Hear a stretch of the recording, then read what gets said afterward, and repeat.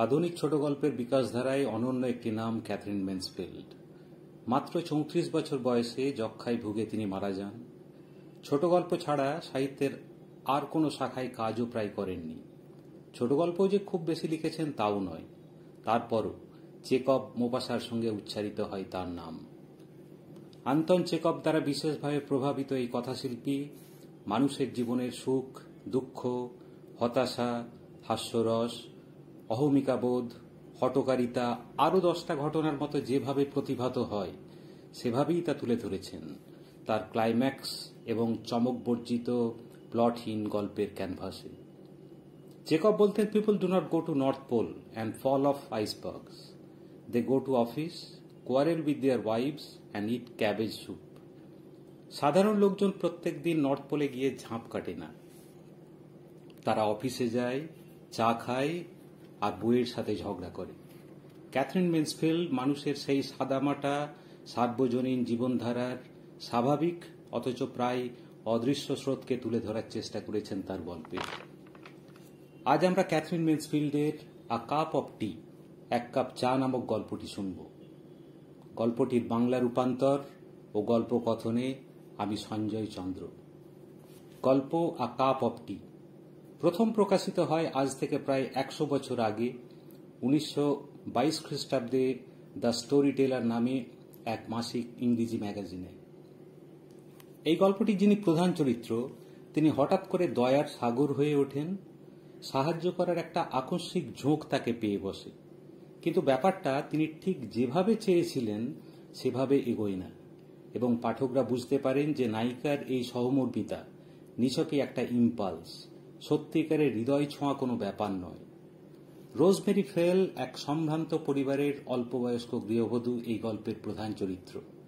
দুবছর হলো বিয়ে হয়েছে। খুঁটিয়ে খুঁটিয়ে চোখ মুখ নাক দেখলে সুন্দরী বা রূপসী বলে মনে হয় না, কিন্তু যথেষ্ট চটক আছে। রোজমেরি বুদ্ধিমতী, তার চেয়ে বেশি পরিপাটি, ফ্যাশন দুরস্ত এবং সাহিত্য অনুরাগী। মাঝে মধ্যেই তিনি যে আকর্ষণীয় পার্টিগুলো দেন, সেগুলোতে নামজাদা ব্যক্তিত্ব থেকে শুরু করে গুণী শিল্পীদের ভিড় জমে যায়। রোজবেরিরা ধনী। দাদা ঠাকুর দ্বারা যেরকম ধনীদের গল্প করে, সেরকম হেঁজি পেঁজি ধনী নয়, সত্যিকারের ধনী। মানে রোজবেরি শপিং করতে যাওয়ার হলে সে প্যারিস যাবে।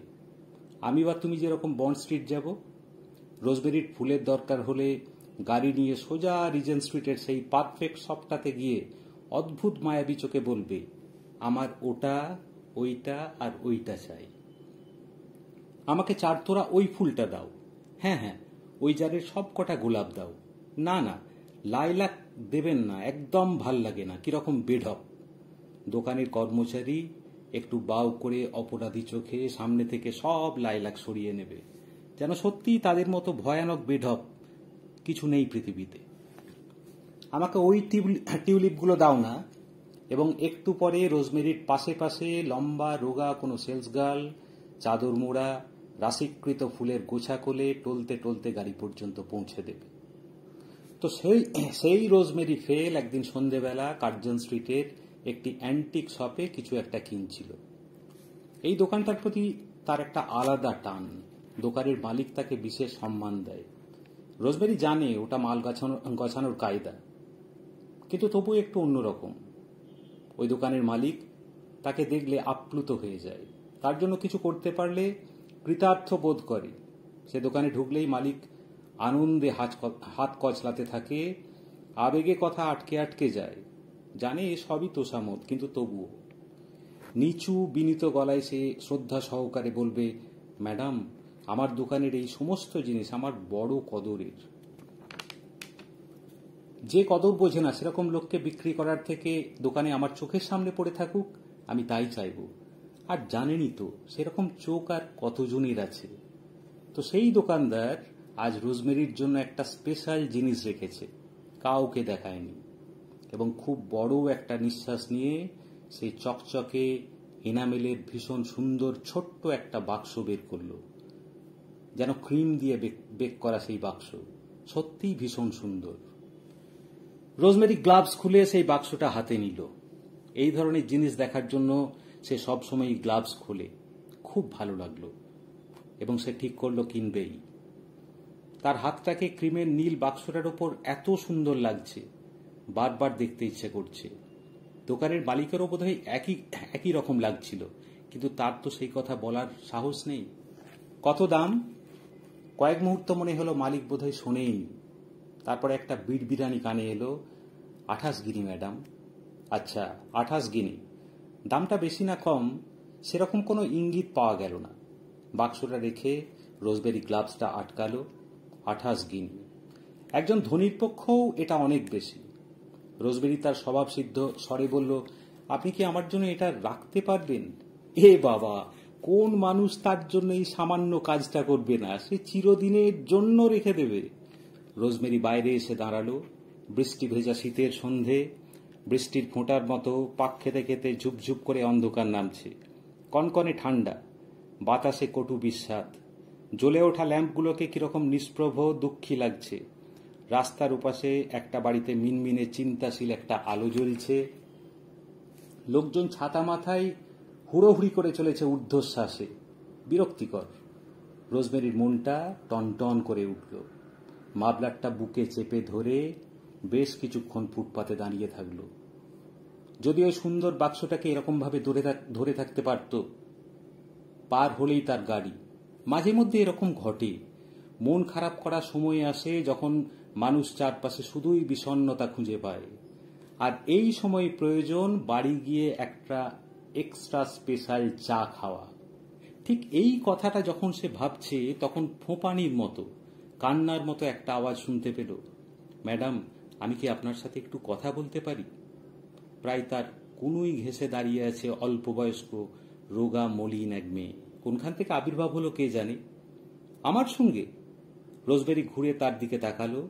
প্রায় তারই বয়সী, ভাঙাচোরা চেহারা, বড় বড় চোখে তার দিকে খুব প্রত্যাশা নিয়ে তাকিয়ে আছে।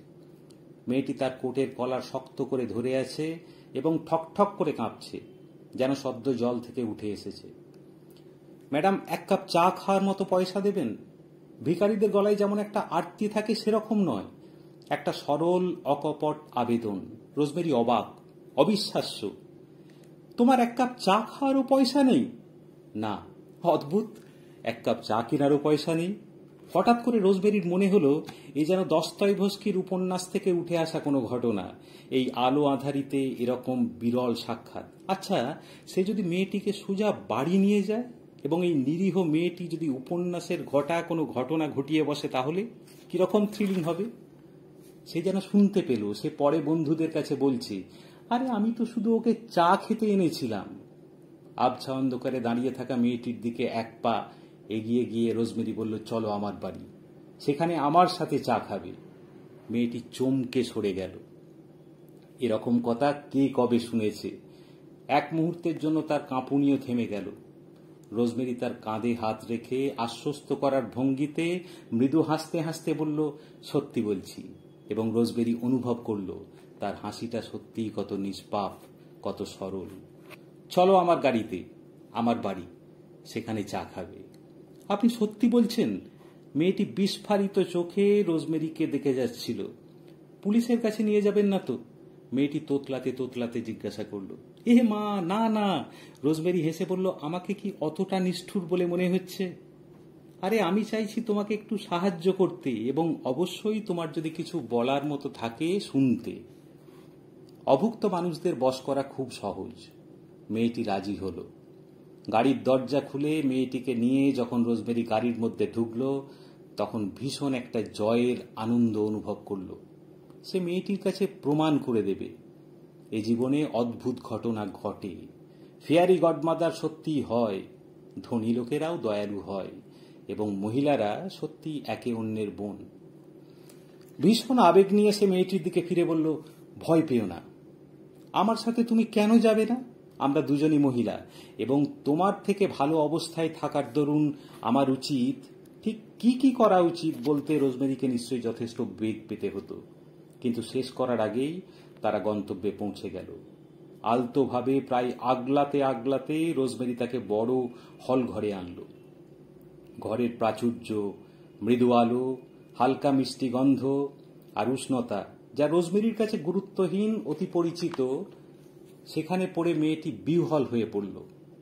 আর রোজমেরি যেন ধনী, মিষ্টি বাচ্চার মতো, তার খেলনা ভর্তি, অসংখ্য কাবার্ড একটার পর একটা খুলতে লাগল।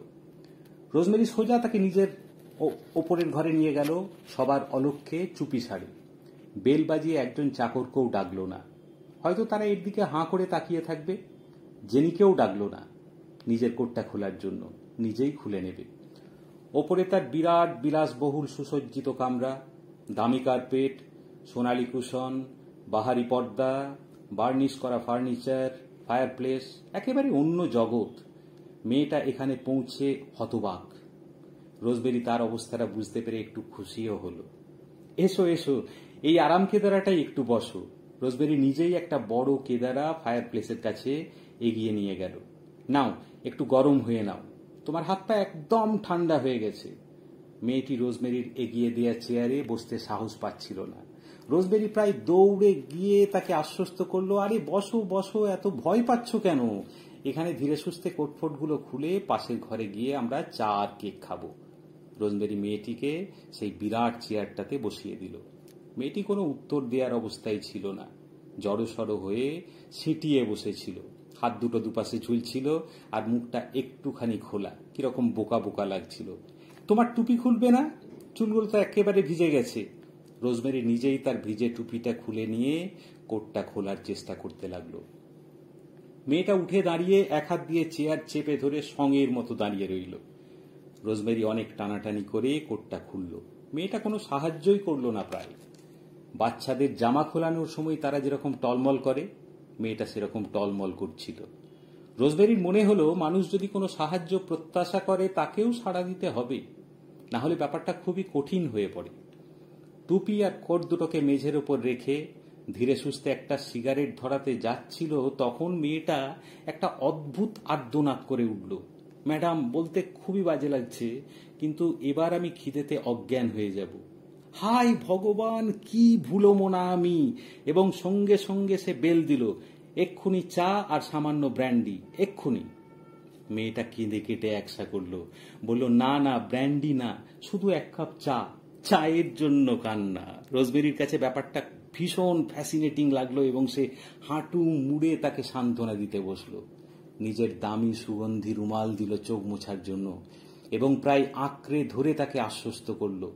মেয়েটি অনেকখানি সহজ হলো। সত্যি সে ভুলে গেল যে রোজমেরির থেকে সে অনেক আলাদা এবং অকপটে সমস্ত দুঃখী মানুষের সেই পরিচিত বুলি বলে উঠল, আর পারছি না। নিজেকে শেষ করা ছাড়া আর অন্য কোনো উপায় নেই।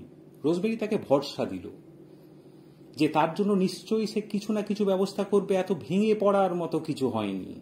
এর জন্যই তো রোজবেরির সাথে তার দেখা হয়েছে। খুব শীঘ্রই চা আর খাবার দাবার এলো।